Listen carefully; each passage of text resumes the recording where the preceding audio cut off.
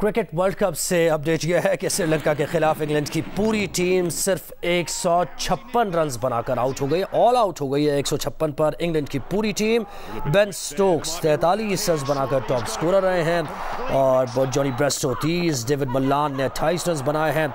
श्रीलंका के लीरो कुमारा ने तीन खिलाड़ियों को आउट किया है। एंजेलो मैथ्यूज और रजेंथा को दो दो विकेट मिली हैं। टिक्शाने ने एक विकेट हासिल की है तो एक सौ छप्पन रन बनाए हैं, एक सौ सत्तावन रन है। बहुत ही मुख्तर ये टारगेट दिया है श्रीलंका को और लग ऐसा ही रहा है पहली इनिंग्स देखने के बाद कि बासानी श्रीलंका ये मैच अपने नाम कर लेगा। इंग्लैंड की टीम बिल्कुल आउट ऑफ़ फॉर्म दिखाई दे रही है और जिस वजह से मशहूर है इंग्लैंड की टीम बिल्कुल भी वो कलर नज़र नहीं आ रहा है।